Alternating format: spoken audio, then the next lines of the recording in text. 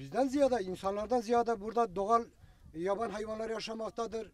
Burada şehrimizde oksijen sürekli gelmektedir. Şu tabiat güzellikte insan kıyar mı ya? Etraf, köyümüzün etrafında taş ocakları hep delik deşik etmişler sanki hançer vurmuşlar dağlarımıza. Yani bu ilerideki e, gelecek nesile zehir sol, solduracaklar bunlar. Biz direnmeye devam edeceğiz. Aha. Yani isterse bizi öldürsünler. Halbuki bizden ziyade devletin üst düzey yetkileri buraya tepki göstermeleri lazım. Çünkü şehrin dibindedir. Şehrin burun dibinde.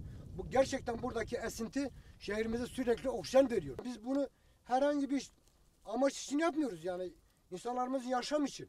doğa olarak Adıyaman merkeze bağlı çok yakın mesafede görüntü itibariyle sürekli burada aslında biz ileriki dönemlerde teleferik bile düşünmüyorduk.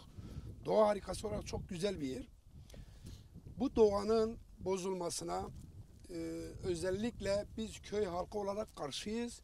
Burada en çok e, zaten milli park olarak ilan edilmiştir. Burada dağ keçisi var. Bunun kanıtları var elimizde. İstediğimiz şekilde biz e, onun görüntülerini de verebiliriz. Dağ keçileri, kanalı keklik ve bir sürü sayamadığım Yaban yabani yabani hayvan yaşıyor. Ve buna karşı e, tüm STK üyelerimizi e, Hayvan Hakları Derneği'ne, Orman Müdürlüğü'ne bir kere biz e, yanımızda görmek istiyoruz bunları. Bunlar bizim yanımızda olduğu sürece de bu e, katliama karşı duracağız.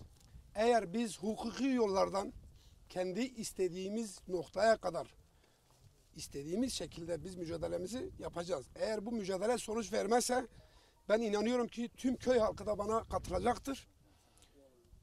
Köyü tüm Burada köylü olarak terk ya. edeceğiz. Yat. Çünkü bize barınacak yer bırakmadılar. Etrafımızda altı taneye yakın taş ocağı var. Yani şimdi altı tane taş ocağı var. Bizim suyumuzu aldılar. Köyümüze ait olan hayvanlarımızın içebileceği insanların tarlaları var. Küçük ölçekli barınabilecekleri yerleri hepsini elimizden aldılar. Yani bütün resmi kurumlarda şeylerde işlerini hallediyorlar. En son neredeyse köyün haberi oluyor. Yani biz birden bakıyoruz ki burayı komple vermişler yani. Chat raporu normalde e, özür diliyorum ben araya giriyorum. Muhtara lazım. raporu normalde e, köy halkıyla beraber istişare edilerek Muhtara köy muhtarına söylenerek chat raporunun hazırlanması gerekiyor. Chat raporunu biz araştırdık. Hiç gerek duyulmaksızın bizim irademiz dışında burada chat raporunu oluşturup derhal buraya el koymak istiyorlar. E, Zaten köylü kayalık bir alan üzerine kurulmuş. Niye bunu kurmuşlar? Aman bir parça bir yerde düz bir arazi varsa ki biz orayı ekip biçek diye e, her şeye rağmen o kayaların üzerinde köyü bilen ya da gidip çekin efendim görün. Hep kayalar üzerinde. Geçim Yani bu düz yer varken niye biz köyümüzü buraya koymadık? Niçin koymadık? Burada hayvanlarımız otlanıyor. Yani kış geldiği zaman şuralarda kar düştüğü zaman kayalıklara burada ufak tefek yeşil otlarda kalanlar hayvanlar gelip hatta çevre çevre köyün hayvanları da gelip burada otlanmakta. Burada su su yatakları var. Ee, 40 kanat elde ettiğimiz kendi imkanımızdan küçük küçük havuzlar yapmışız mesela. Öyle bir durum var. Burada dağ geyikler var, dağ keçiler var.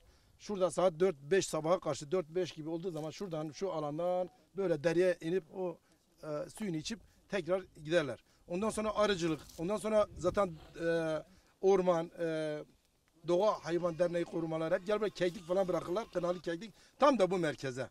Yani bura e, demin dediler ya bir ocak sağımızda, bir tane solumuzda, bir arkamızda orada. Hadi iki üç tanesine razı olduk, dördüncüye razı olduk. Yani bu kadar da olmaz yani. Resmen bu köye artık burada yaşamayın. Çekin git den, e, deniliyorsa eğer açık açık bize söylesinler. Biz de köylüye rica ederiz. Bir yer bulalım. Gidelim bir yerde çadır açalım. Göçebe gibi yaşayalım. Hani devletimiz demişti köyünüze gidin, köyünüze yerleşin. Hayvan e, size teşvik vereyim gidin. Hayvancılık yapın, arıcılık yapın. Bu insanlar da zaten bunu yapıyor. İnanın inanın bu, buranın düz bir arazisi yok ki tarım yaparlar.